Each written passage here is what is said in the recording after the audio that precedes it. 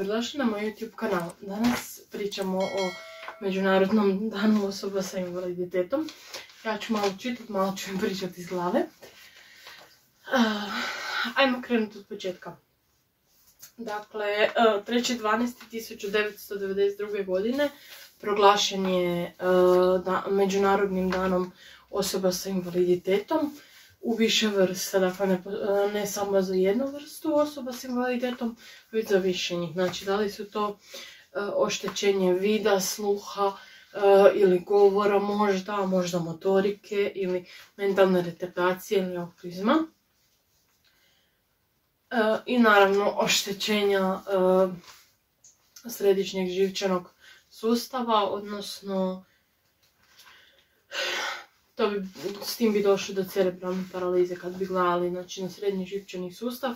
To je u principu oštećenje koje se u našem, ajmo reći, hrvatskom e, sustavu zove cerebralna paraliza. Znači, to je trajno oštećenje e, u mozgu koje ne može se promijeniti. Znači, nije nemoguće ga je e, poboljšati. Znači, recimo, možete samo vježbom i upornošću smanjiti to, ali ne možete definitivno maknuti se od toga, to jest ne možete to izliječiti trajno jer je to nemoguće.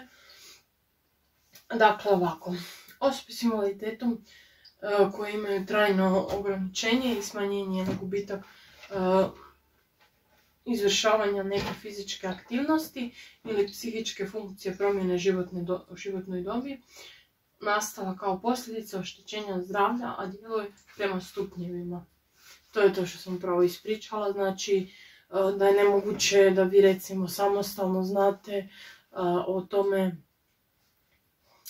zašto se to jednostavno dogodi, to je jednostavno živčani sustav je sam po sebi još uvijek vjerojatno dovoljno neistražen da bi se znalo zašto dođe do toga kad vam recimo tokom poroda ili ne znam, pada ili nečega kako se to točno desi da osoba postane osoba s invaliditetom, odnosno da dobije invaliditet, jer na primjer možete vidjeti i u televizijskim serijama i filmovima da je osoba koja je, znači, ajmo reći pod novnicima, normalna, zdrava, da ako ima recimo, ne znam, ako ima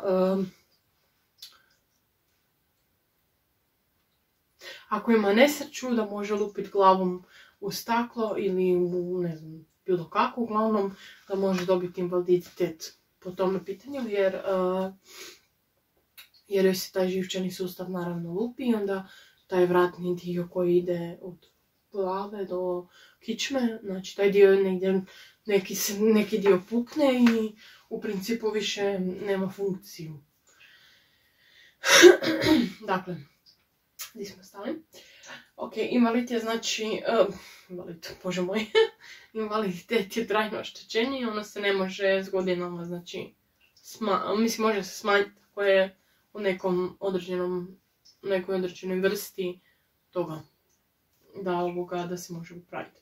Ali nažalost niko ne može to ozdraviti od recimo cerebralne paralize i recimo cerebralna paraliza nije prenosiva bolest. Znači ne možete se vi, mene recimo dotaknete, nećete vi dobiti ili ne znam, zaraziti se, pa nije to korona.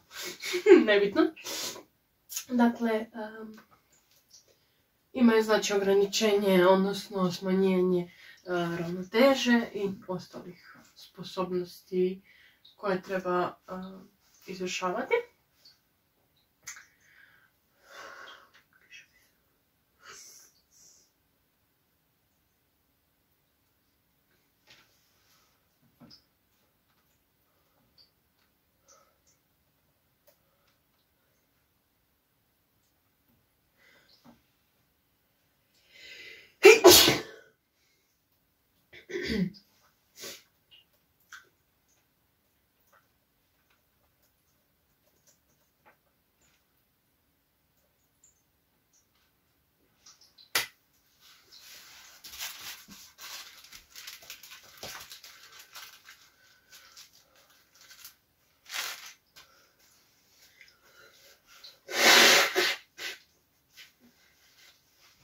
Dakle, hendikep je e, stanje koje proizlazi iz nekog trajnog oštećenja ili invaliditeta koja ograničava ili sprječava izvršavanje aktivnosti koja je uobičajena u svijetu, e, u svijetu posljedica i pojedinca i označava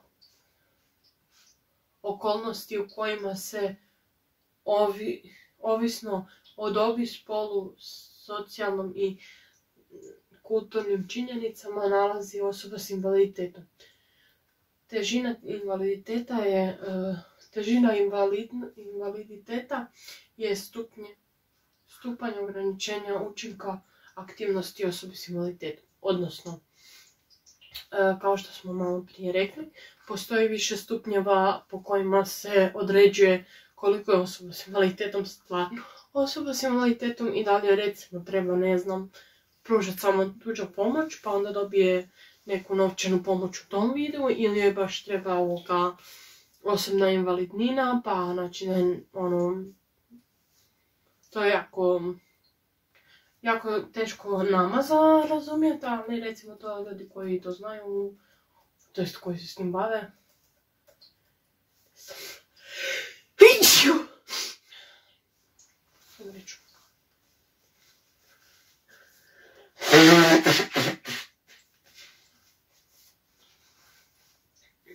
da vidimo. u posljednjem, dobro, znači uglavnom postoje više vrsta i mentalnih oštećenja. Dakle, to su oštećenje vida, sluha, oštećenje govorno-glasovne komunikacije, odnosno govor, oštećenje loko, lokomotivnog sustava, iskreno ne znam kaj je to, lokomotornog sustava, a to je vjerojatno fina motorika i ostalo. središnjeg živčanog sustava, eto to oštećenje ja imam. oštećenje perifernog živčanog sustava, oštećenje drugih organa i, i organskih sustava, odnosno dišnih, cirkula, cirkularnih, cirkulacijskih,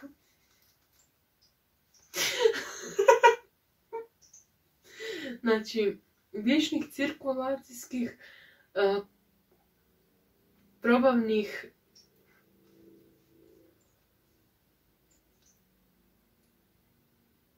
endokrini, endokrini, kože i podkožnog tkiva i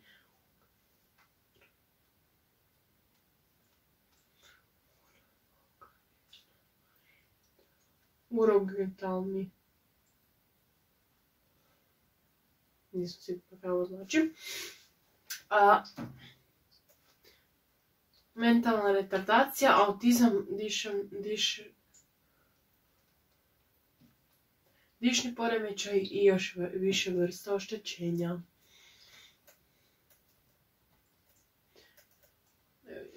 Oštećenja govorno-glasovne komunikacije su ona kod kojih se zbog ant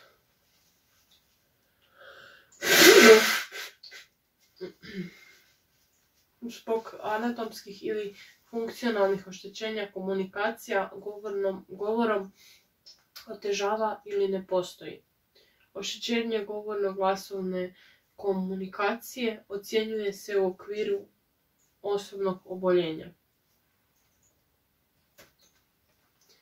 Oštećenje glasovno-govorne komunikacije su govora, znači oštećenje govora, oštećenje glasa, oštećenje čitanja, oštećenje pisanja i oštećenje računanja. Oštećenje e, središnjeg živčanog sustava je e, trajno oštećenje zbog kojeg osobe ne može samostalno izvoditi aktivnosti primjenjene životnoj dobi, a, a prema mjerama tež, e, težine invaliditeta. Za pokretanje tijela, hodanje ili hodanje premještanje, ručna aktivnost, potrebne su određena ortopedska pomagala, proteze, aparati, štake ili invalidska kolica ili slično. Nemogućnosti samostalnog održavanja osobne e, njege, kupanje, oblačenje, obuvanje ili, ili ostale fizičke aktivnosti ili nemogućnost samostalnog pripremanja i uzimanja hrane. Nemogućnost e, samostalnog pokretanja tijela niti uz ortopedska pomagala. Jednim zaključkom bi rekli, znači, osobe sa bilo kakvim invaliditetom, da li to bilo neki mentalni ili fizički invaliditet, e, oni su svi spadaju pod jedno te isto, pod osobe s invaliditetom. Tako da sretamo vaš dan i e, ne znam, provedite ga najbolje što želite i što možete i što znate.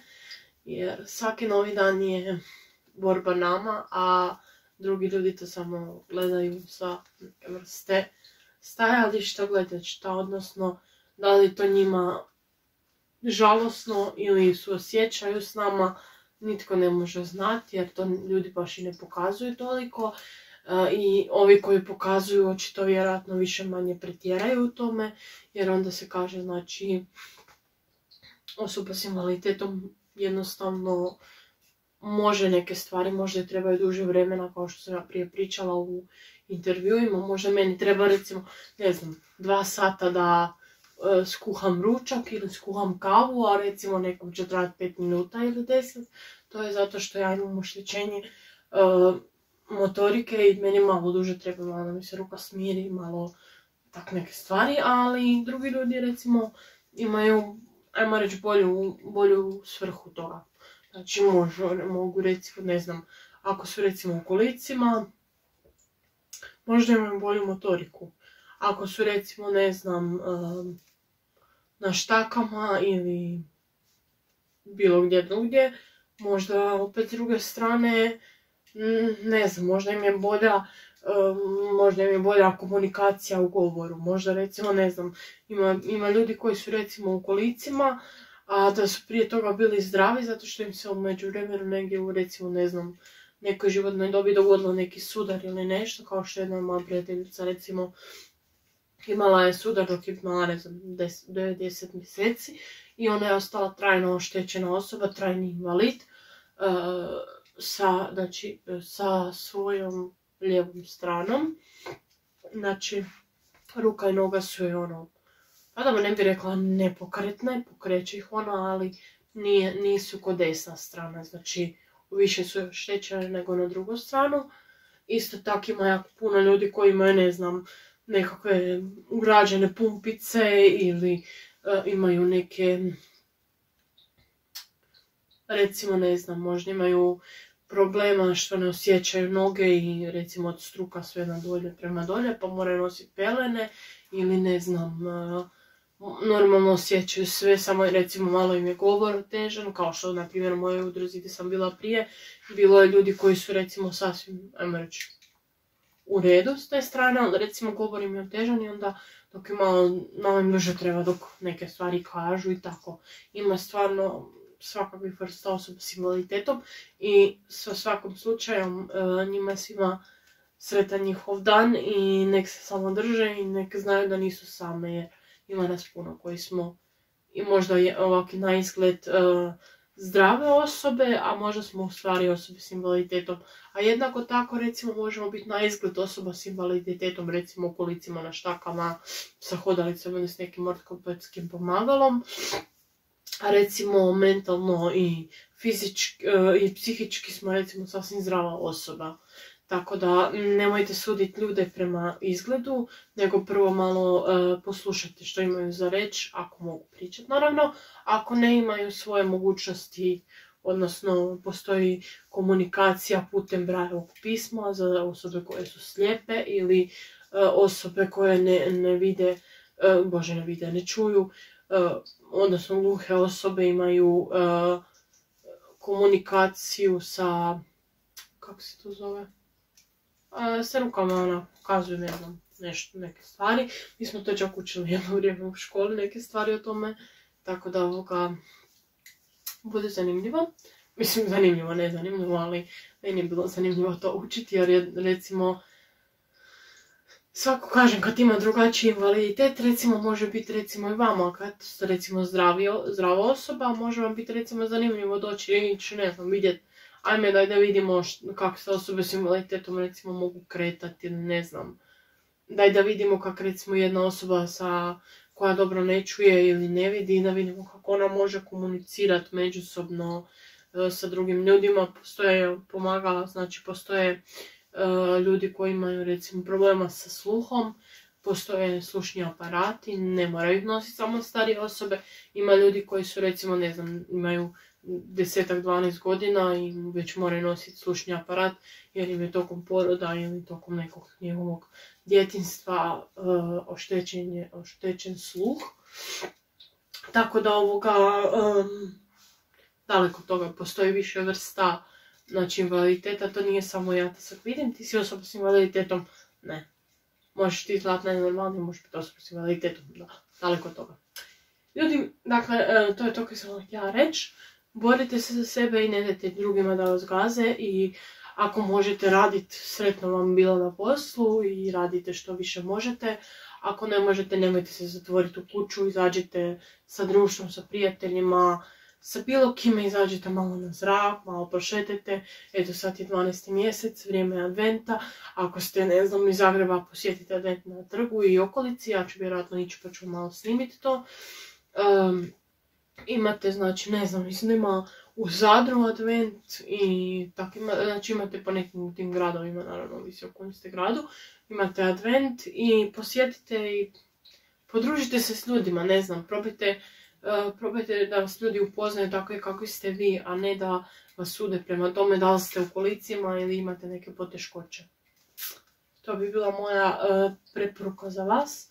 Ja kažem danas e, će ovaj video izaći, pa eto, sretno vam svima. Pozdrav, vidimo se u drugom videu. Ćao!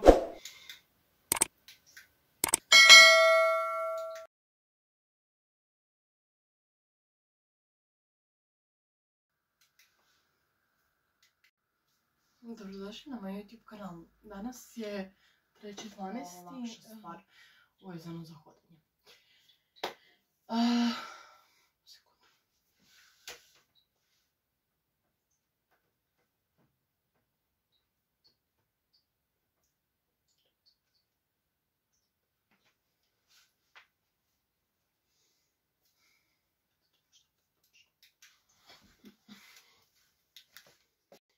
Dobrodošli na moj YouTube kanal. Danas pričamo o današnjem danu, odnosno 3.12. E, Međunarodnom danu osoba sa, sa invaliditetom. Znači, proglašen je 1992. godine i postoji više vrsta osoba s invaliditetom, odnosno osobe koje imaju trajno ograničenje, odnosno smanjenje ili gubitak nekih, uh, nekih fizičkih aktivnosti, odnosno psihičkih u promjena u funkciji. Ne sviđa se. Dobrodošli na moj YouTube kanal. Danas je 3.12. i dan je Međunarodni dan je osoba sa cerebralnom paralizom. Ivana!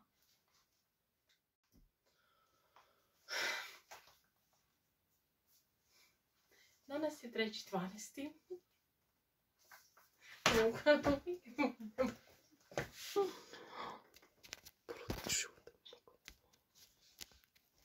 Dala sam ti sve još više I bilo bi tako sve dogodišem Sve dogodišem Da nisi bio takav gad I otišao s njom